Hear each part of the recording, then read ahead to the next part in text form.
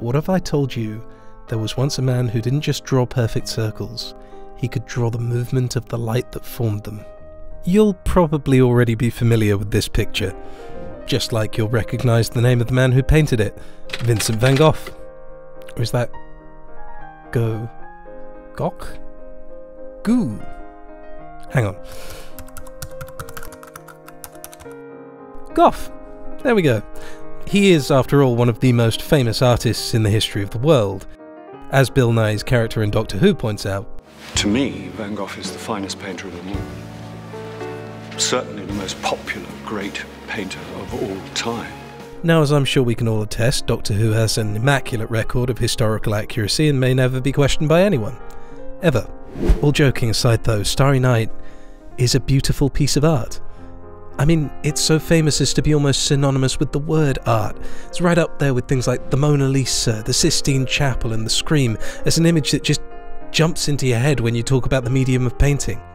There's something about it that just leaps off the page, and it's more than Van Gogh's inventive use of thick paint to lift the art and give it texture. Looking at the canvas, it almost feels as though the picture is moving, even though your brain is telling you that it's standing still. That feeling isn't you going crazy, it's intentional.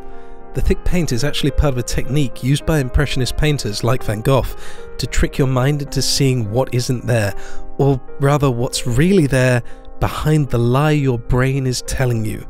Excuse me whilst I borrow Dr. Albert Einstein to explain this for us. Doctor? Thank you. It's really rather simple. You see, the visual cortex of the brain is a primitive construction.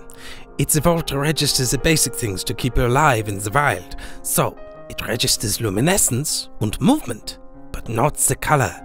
It is important to register the movement of the tiger coming towards you, and that you will be able to see to run away from it.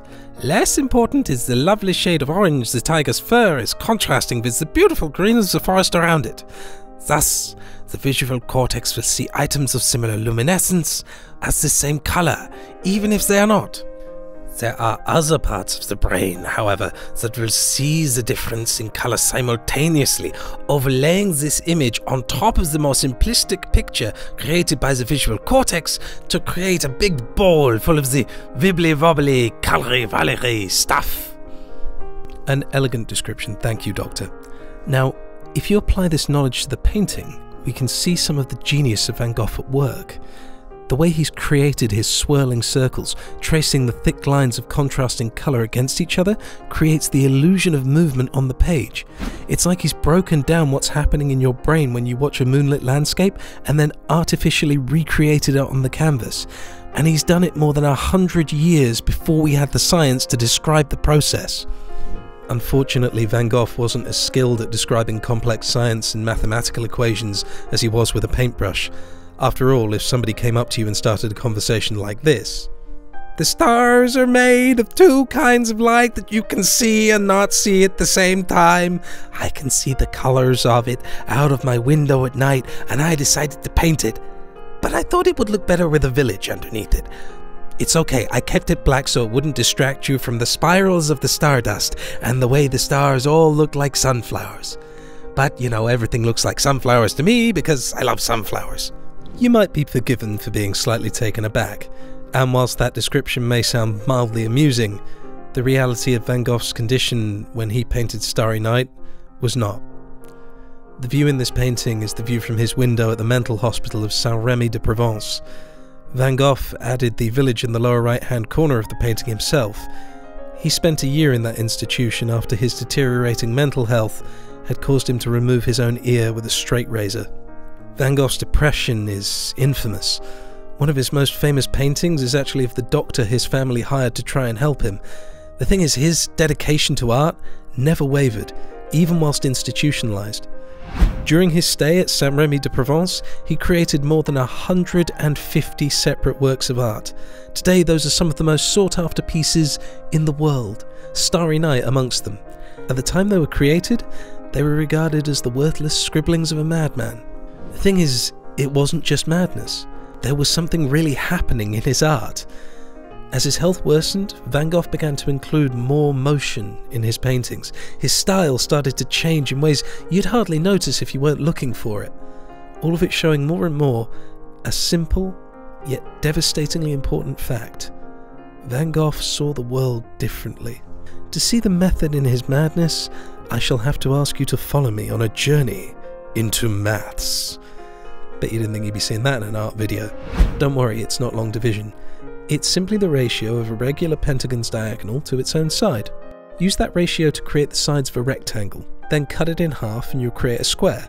Cut it in half again and a smaller rectangle. This will be the same ratio of width to length, just a quarter the size. That can be done indefinitely.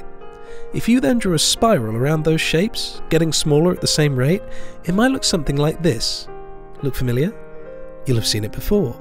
Here, here, and here. Oh, yes, that last one isn't just a coincidence, because it's not just sunflowers where Van Gogh uses that ratio. Have another look at the original picture. It's in every single spiral you can see on that page. Each one of those swirling pools of light is a spiral created with the use of the golden ratio, a mathematical curiosity that has been remarked upon since the time of ancient Greek mathematicians and philosophers like Pythagoras and Euclid. That shape keeps showing up throughout nature, and it's a massive part of how we calculate turbulence in water.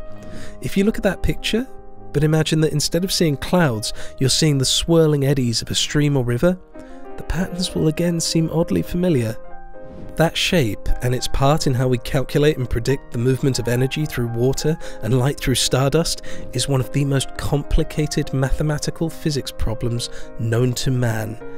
A large proportion of the recent research was carried out by studying the movement of gases in Jupiter's red spot. Utilizing the Hubble telescope, scientists gazed out into the stars and created maps of that motion in the gravity of the planets. When they looked at their pictures, Starry Night was what was staring back at them. The same shapes, the same designs, but Van Gogh, he did it without electronics, computers, or space telescopes. He put it into the painting you can see right in front of you. He created a map of one of the true mysteries of the universe using nothing but the naked eye, a brush, and some canvas. Which must have really sucked for the scientists when you think about it. I mean, imagine making that kind of a discovery and your boss responds like this Sir, sir, it's marvellous. We've made a breakthrough. We finally have a working model for turbulence. That's amazing, Jeffries. Let me see. Oh, I know, sir. I've been working since I was 18 to get this theory together. It's been my dream. Oh, when the other guys were out drinking and, and cavorting, this was my life. When they were falling in love, travelling the world on their gap years, this was my life.